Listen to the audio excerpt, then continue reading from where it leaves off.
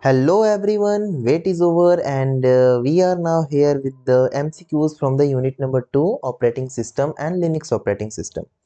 So in this video we will see most important and frequently asked MCQs of unit number 2. I have already discussed 40 MCQs from the unit number 1 and in this video we will see only 20 important MCQs because comparatively this unit is less important and unit 1 your unit 1 is most important. Go and watch that video if you haven't watched that videos. I have discussed 40 MCQs in that unit okay? So in this unit your first question is what is the primary function of an operating system? Option is option A execute application manage hardware resources provide internet connectivity and last option is create documents correct option is option number b which is manage hardware resource next question which of the following is the feature of windows operating system is it terminal finder control panel or apt gate correct option is option c which is control panel moving to the next question what is the primary function of a bootloader in the Windows operating system? Option A. Manage user accounts. Option B. Load the operating system into memory. Option C. Control hardware peripherals. And last option is execute application programs. Correct option is option B which is load the operating system into memory guys do not miss any one of the questions i have covered all the concept in the mcqs only if you go through all these questions then there is no need to study the ppt and books for the for this particular subject do all the mcqs thoroughly and you will get good score in your exam next question which version of windows introduced the start menu is it Windows 95, Windows XP, Windows 7 or Windows 10? Correct option is option number A, Windows 95.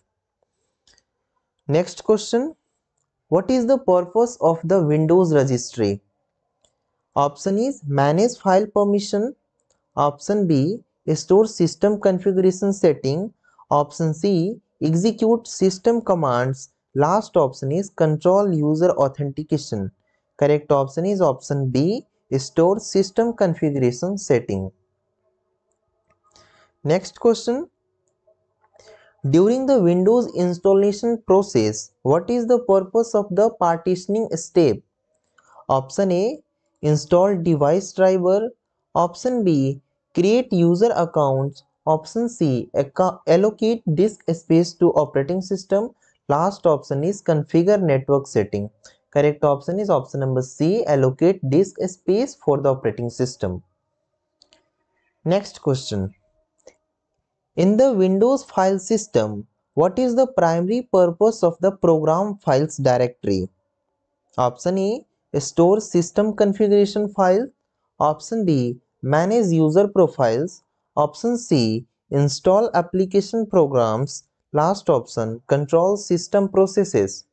Correct option is option C. Install application program is the primary purpose of the program files directory. Moving to the next question. What is the core component of the Linux operating system? Kernel responsible for managing uh, system resource. Option is shell, init, kernel, file system. Correct option is kernel. Next question.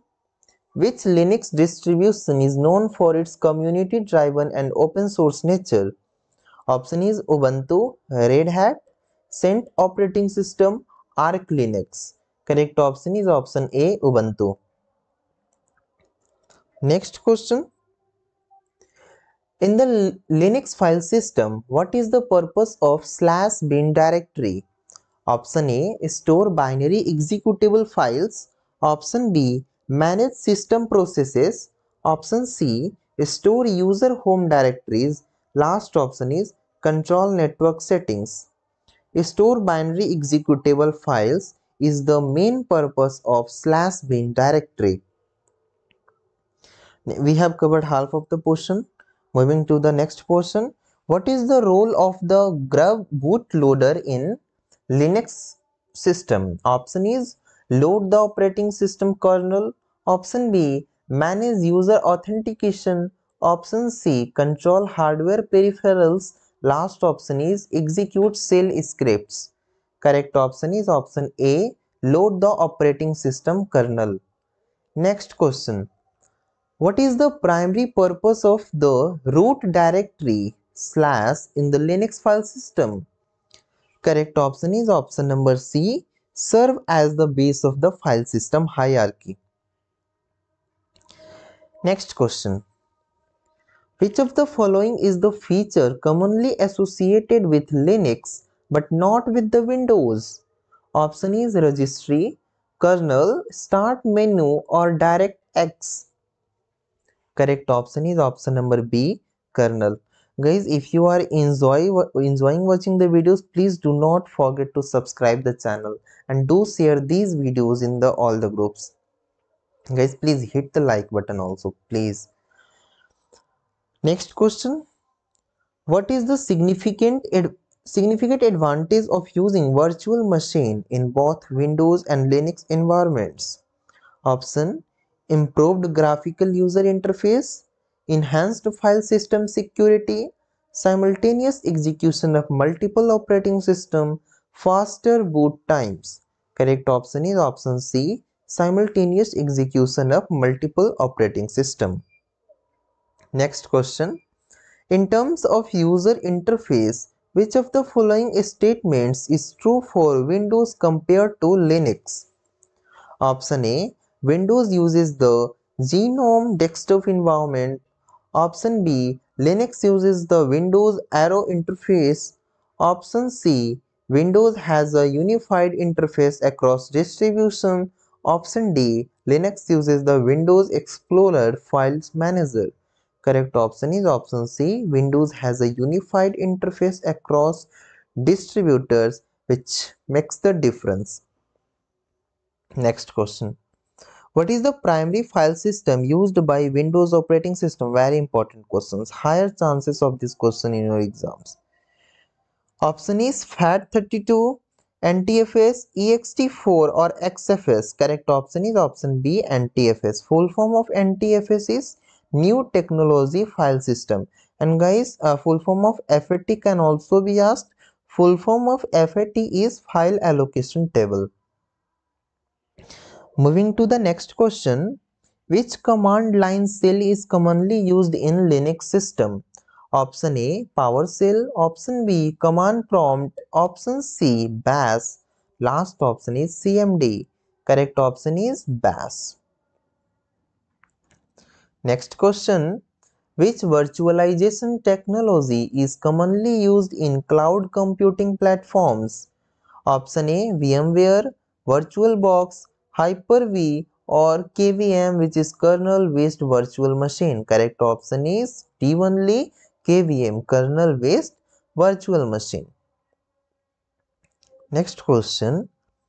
What is the benefit of using snapshots in virtual machine? Option A increased system performance. Option B efficient use of disk space. Option C quick recovery to previous state Option D. Enhanced network security. Correct option is option C. Quick recovery to a previous state. And last question of this series. Which virtualization type allows running multiple operating systems on the same physical hardware simultaneously? Option A. Full virtualization. Option B.